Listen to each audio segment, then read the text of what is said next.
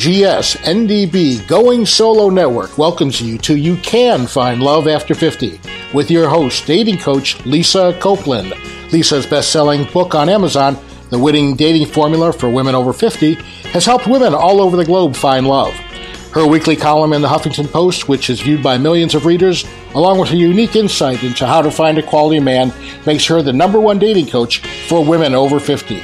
And now, your host, Lisa Copeland.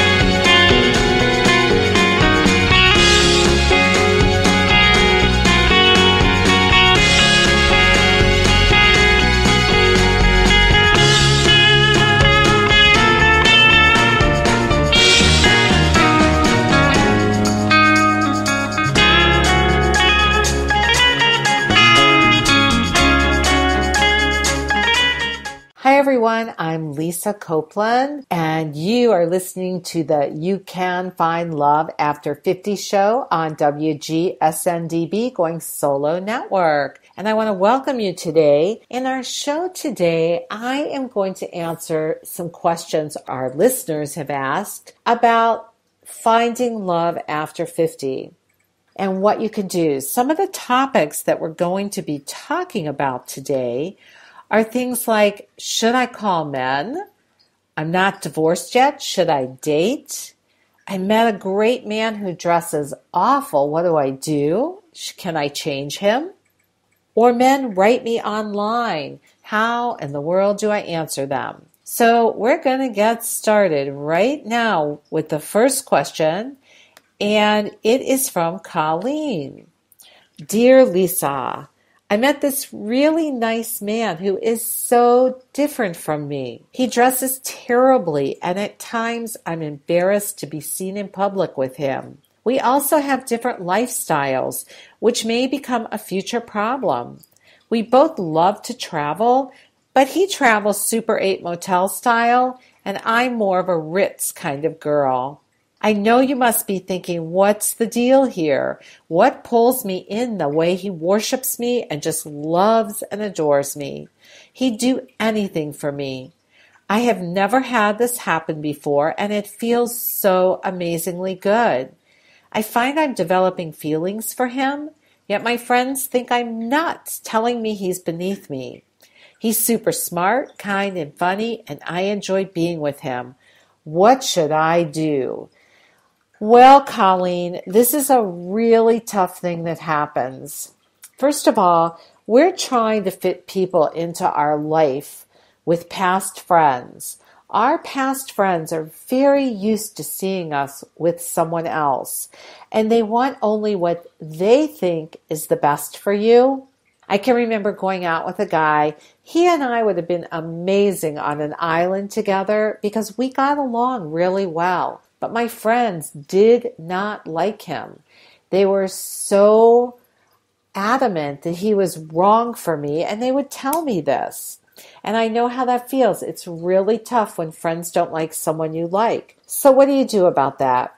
Well, sometimes friends do have good insights into people that are right and wrong for you. They can see the chemistry. They can see sometimes what ultimately will be good for you. My friends, in many ways, were right about this man for me because he was very inflexible. And at times that drove me crazy. And ultimately, that is what broke us apart. He also had extreme views. I am more tolerant of extreme views, but that too ultimately broke us apart. And these were things my friends noticed. So listen to your friends, pay attention to the relationship and see if you start noticing some of the things that your friends mention. So let's get into that super eight and Ritz kind of girl you are. This could be a problem because your tastes are very different. The key is asking yourself, is he a Motel 8 kind of guy because he cannot afford the Ritz? Or is he a Motel 8 kind of guy because that's his comfort level? A lot of men will do what you want. And if you say, I really want to go to the Ritz and I'm willing to pay for it, some men will feel emasculated by that. But if you say it from a place of, Could you do me a favor? Would you be okay if I paid for the Ritz because I so want to go there? And it would just make me really happy. If it comes from that place, an emotionally healthy man wants to make you super happy. He will probably say okay, and he may try and contribute towards it. Now, if this man is the lifestyle of a Motel 8 kind of guy, then there may be a mismatch. And especially if he says, No, I'm not going to the Ritz ever. Because you do want someone who wants to make you happy. If he can't pay for it, you can, but you want someone that's going to make you happy. In terms of him dressing, dressing terribly, we as women like to change men. And men always tell me, Oh my God, Lisa, would you tell the women that you talk with that we don't want to be changed? We like who we are. We want to be left alone. So, how does this work? Okay. What do you do? Well, number one, personality wise, you cannot change a man. If a man is abusive, if he is an alcoholic and he hurts you, or if he has extreme opinions, like I mentioned about the guy I went to, you can't change these things. There's certain things you should you should never tolerate. Never tolerate abuse. Never tolerate when a man puts you down. This is not healthy. But if a man dresses funny, over time you actually can change that. Because again, you go back to, could you do me a favor? Would you mind wearing this kind of shirt sometime? Because I think you would look so handsome in it. The key is not to come across as critical, and you don't want to do it in the first minute of meeting him. I have a friend who's a guy, and he said to me, This woman came into his house, and the first words out of her mouth were, Oh, you need to change your wallpaper. I can show you how to do that. What he said to her was, I don't think we're a match. And they had been going out for a little bit. He did not want to be changed. Superficial things like clothes over time can be changed, even wallpaper over time, but that's not till you're in a relationship with someone. And you need to either accept a guy for who he is or let him go and start looking for a guy who is exactly what you want. Hope that helps you, Colleen. Okay, our next dear Lisa. My 31 year marriage ended about three months ago. I'm not divorced yet, but I'm thinking about dating. I figure it will be so much easier to get over my ex if someone else is in the picture. I'd love the support too from a guy. I already miss having a man around, so I want to get a head start finding my next guy. How do I go about doing this? Kathy. Kathy, you are in a 31 year marriage. You need some time to grieve over the end of a relationship. You might think, oh my God, I'm so done with this. I'm okay. When I came out of a 24 year marriage, I actually took nine months. I did not feel sad I was actually relieved that I was getting divorced. We had really grown apart and it was time. So I was okay. But the thing, what I ended up doing was I really got to know myself again. Because when you've been in a long marriage, your interests, the real you, is actually intertwined with that man that you've been with for so long. And you kind of forget about what makes me happy. I remember going on a date, and this was already probably a year, a year and a half after my divorce with a guy, and we're sitting in this place, and someone from the local sports team came in. And I remember thinking about how much my husband would have liked, how much he would have liked that. Well, I'm not with my husband anymore, and I don't need to think about what he would have liked. What I needed to do was think about what I would like, and that's what you need to do, Kathy. Wait till after the divorce is done. What happened to me when my divorce ended, a blueness descended on me because I had to mourn the relationship. It wasn't necessarily about mourning him. It was the end of a very long relationship that was a huge part of my life. And that's what you've had with a 31 year marriage. So when you go out and you date really quickly, one of the things that oftentimes happens is you draw in the same person. He has different hair, different clothes, different job, but he has the same underlying issues. This is something huge I help women with in a quality man template. I show them how to recognize the patterns of men they're attracted to because we're usually healing something from our family of origin in the relationships we choose. And when clients create their quality man template with the pattern chart in it, it is such an aha moment for them because they recognize, oh my God, I've dated the same guy over and over again. And you have to dig deep to do this. I know you miss having a man around, but you don't want to replace someone else. You need to really get yourself in a place where you know yourself again and where you recognize what went wrong in the relationship so you don't re attract that again. Okay? Give yourself some time. This is a really special time. I had a friend tell me after a breakup, she said, I know you're sad. I know you miss having the guy around, but enjoy this time. It's something you so rarely have. Enjoy it. Really have fun. You don't have to worry about someone else. You can do anything you want. And it's really a freeing feeling. So I urge you to take that time and to hold off. So if you are getting out there dating, one of the things I want to suggest that you do, and this is for everyone, is I have a great free report on my site called The Five Little Known Secrets for Finding Quality Man. Check it out because it really is going to help you get some ideas of where to find quality men in your life. You can find it on findaqualityman.com. Again, that's the five little known secrets for finding quality men at findaqualityman.com.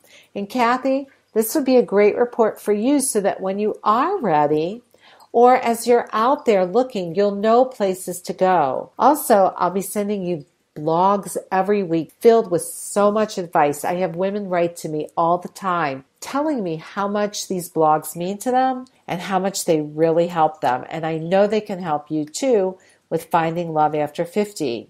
So I want to remind you that you are listening to the You Can't Find Love After 50 show. I'm Lisa Copeland, your host on WGSNDB Going Solo Network.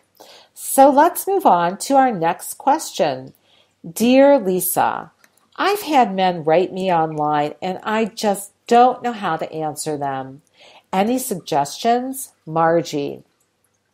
Margie, this is a great question. When men write to you online, oftentimes what happens is we start telling them more and more about our lives and you become a pen pal to them. And you really don't want that. What you want to do is the goal when a man writes you, exchange like five to 10 emails back and forth maximum, short and sweet. This is when you want to get into your flirting skills. I teach women flirting all the time. Flirting is about being light and airy, not spacehead, not space cadetty, but airy.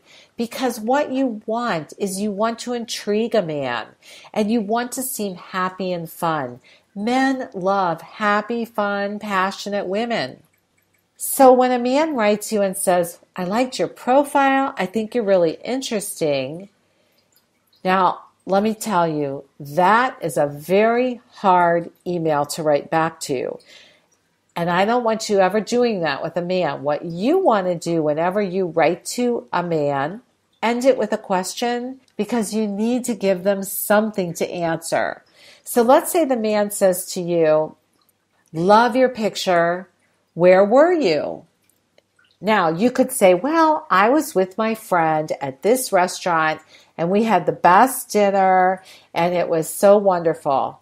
Not, you don't want to say that. That is so boring. So what you want to say is, funny you should ask. Great restaurant, great food. One of the best times I had with a friend of mine. Are you a lover of good food? Short, sweet, and sassy. That's how you want to write men back. And if you're not sure, these are the kinds of things I help my clients with. Get in touch with me at lisa at findaqualityman.com and we can talk about what it is that will help you to get your dating life out of a rut or jump started. And that's for everyone on this call. Feel free to write to me and, uh, and apply for a 30 minute complimentary session with me to talk about your dating life. And we'll talk about what's going on, what's stopping you, and how I can help you.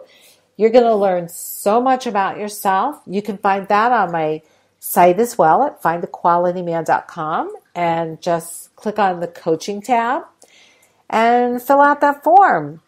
Okie dokie, let's move on to our next question. Hi, Lisa. I'm going on divorce number two. First time I was married 21 years. Now I've been married three out of a nine year relationship. My current husband walked out without warning. I know it's too soon to date as the divorce is barely in process, and we were back and forth for a while trying to save it. I made the mistake of finding my very first boyfriend from high school on Facebook. Over the last 30 years, he has tried to apologize for dumping me to date one of my good friends. Now he is literally throwing himself at my feet. He's successful in business, which is nice for any woman to want to date. He's been through three marriages, as he says none ever took my place. He's begging me to let him make it right and would do anything for me. Here's the problem. I don't feel any physical attraction to him anymore, and that is important to me. I am still sexually attracted to my soon to be ex, although I'm not acting on that. They are just very different, and my old boyfriend, although he could make these older years comfortable, my current husband did not contribute to the household bills but loved nice things, and I got tired of working and paying for everything and got bitchy. I am just not attracted nor ready to date yet. So my old high school boyfriend won't take no for an answer, and when I told him no, it's like I devastated him. Should I let this catch go or give him a chance? Thanks so much, Gina. Gina, you have said it yourself. Your instincts are telling you you are not ready to date. And you need to be clear with this man that the only thing you're capable of right now is being friends with him. So, how do you do this? As women, we were taught to be nice to everyone. We have such a hard time saying how we really feel. What really helped me be able to tell people how I felt was using these words. I so appreciate that you want to create a romantic relationship with me. But I feel uncomfortable doing that right now. And I would feel so much more comfortable just being friends. I love your support. I love talking with you. And I love sharing the past stories we've shared together and seeing if there's any current ones now. But right now, I feel that I am not ready to be in a relationship. Now, for everyone out there, in that paragraph I just gave to Gina, I used words I feel or I feel uncomfortable. One of the great things about doing that is it softens you. You're coming from your heart. You're asking a man to step up and be your hero and honor you. And when a man doesn't, or a man makes it all about him, like this man did to Gina when he was devastated when she said, No, I, I'm not interested right now, this may not be the right man for you. When we're in the middle of a divorce, having someone kind of dote on us is awesome and amazing. It feels great. It makes us feel like we're still desirable. But it is so important, like I mentioned earlier, to heal yourself. Having men having men as friends at this time is a fantastic thing too, because it is nice to be around male energy. But trust your instincts. This is for any situation anyone is in. Trust your instincts is this man a good match for me? Is something going on here? Does he have any of my deal breakers? And trust how you're feeling because your instincts will tell you. And if your instincts say, I'm not ready to date, that's how I was. After my 24 year marriage, after my three year marriage, I knew I wasn't ready to date. I wanted to get myself back. And I remember checking in with myself and going, Am I ready to date? And I would hear, No, and then all of a sudden one day I was ready. And that means that I had healed. And that is what's important. You want to heal all those feelings you're feeling before you go out and get involved with someone else. Okay, let's move on to a question from Annie. Dear Lisa, a couple of weeks ago I met this great guy through a mutual friend at a party. We talked for about an hour and then exchanged numbers. We had such a nice conversation, but he didn't call me, so I decided to call him. After talking for about an hour, we decided to meet for drinks and had a really nice time. He said he'd call, but it's been over a week and he still hasn't. Should I call him again? Because I really like him. Annie. So, Annie, one of the things you really uh, want to understand about men is they love to pursue you. The thing is, is they need you to let them know it's safe to pursue you. When you're calling a man, course a man will go out with you if he doesn't have something else to do. But that doesn't mean he likes you or wants to go out with you again. And oftentimes when a man says, I'll call you, He's not going to call. He just doesn't want to hurt you. The thing is, is if you exchange those numbers and he didn't call, you needed to let it go. The only thing you could have said, there's only one thing you could have done. You actually could have written a text the next day and you could have just said, had so much fun talking with you last night. Would love to finish that conversation about blank, blank, blank, whatever it was that you had a good time talking about. That is the only thing you can do. You're leading him to ask you out if he's interested. And if he's not, he'll be polite, he'll take your number. It doesn't mean he'll call, and you don't want to pursue him. If you'd love to have your questions answered on one of my Dear Lisa shows, all you have to do is write to me at lisa at findaqualityman.com write that you heard me on the radio and that you would love if I would answer one of your questions and then just put it out there and I'll answer it on a future show. Okay, we're going to keep going here. Dear Lisa, it has been hard to find a date. The men who contact me seem to be old or disabled, and it seems they just want me to take care of them. I'm very self sufficient, I'm independent, and I'm not looking to take care of anyone, nor do I want them to take care of me. But what I would like to find is someone to enjoy my life with. I don't date men who are older than me, preferring them younger, though it seems lately all I get is older men contacting me who are sexually washed up. I'm not ready to give up my sex. What do I do? Tina. Oh, Tina. It's great that you're self sufficient and independent and not looking for someone to take care of you or for you to take care of someone.